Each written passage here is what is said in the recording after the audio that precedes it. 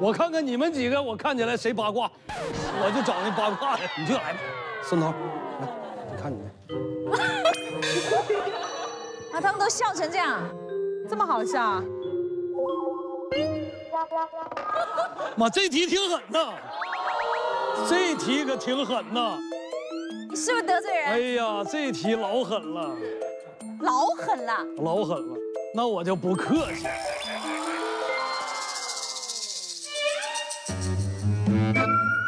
八成，八成拿我。这个吧，郭麒麟啊，人品最差的人。沾边儿了，沾边儿了，哦，这还沾边儿啊？沾边儿了，看起来最不靠谱的人，最好欺负的人，沾边儿了，都沾边儿了，都沾边儿啊？沾边儿了，心眼比较小的人，都沾边儿啊，沾边儿，把那不好的都说出来，有仇报仇，最小气的人，眼睛最小的人，沾边了，沾边了，不是范围。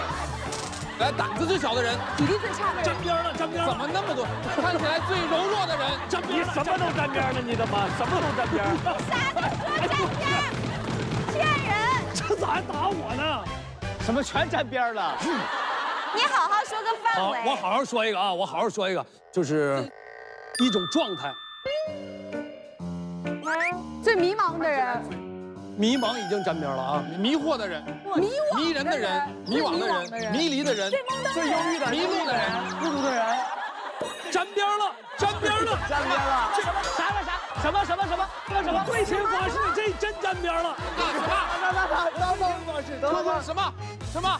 你想起来你刚刚说啥没有我？想起来了，我都最喜欢独处的人。沾边了，啊！你看，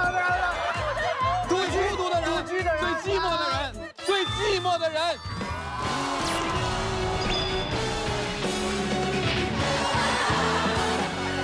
应该是金靖先说出来的，金靖没说寂寞，说了我。说了，我小声的说了。最孤独的人，最寂寞的人。谢谢公平的导演组。